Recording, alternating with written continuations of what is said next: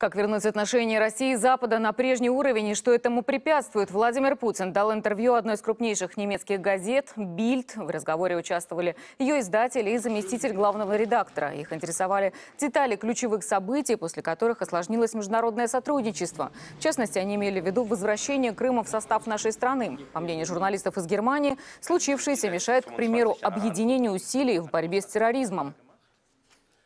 Что вы подразумеваете под словом Крым? Изменение границ.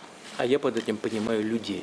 Два с половиной миллиона человек. Это люди, которые испугались переворота, прямо надо сказать, были встревожены переворотом, государственным переворотом на Украине. И после переворота в Киеве крайне националистически настроенные силы, они просто впрямую начали угрожать людям, э, и, и русским людям, и русскоязычным людям, проживающим на Украине вообще, и в Крыму в частности, потому что там концентрация э, русских и русскоговорящих больше, чем во всех других частях Украины. Что мы сделали? Мы не воевали, не оккупировали никого, нигде не стреляли. Ни один человек не погиб в результате событий в Крыму. Ни один. Значит, лю- люди... Мы а, мы использовали вооруженные силы только для того, чтобы сдержать находившихся там военнослужащих Украины от вмешательства в свободное волеизъявление людей, которые там проживали. Люди пришли на, на референдум и проголосовали. И они захотели быть в составе России.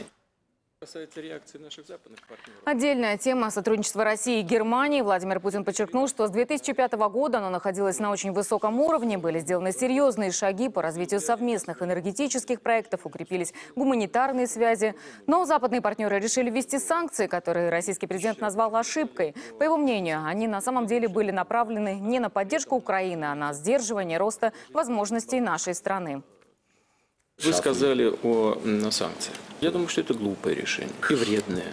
Значит, ну вот э, я говорил о том, что у нас товарооборот был с Германией 83-85 миллиардов долларов, и тысячи рабочих мест в Германии были созданы в результате этой совместной работы. Значит, э, а, для нас какие ограничения?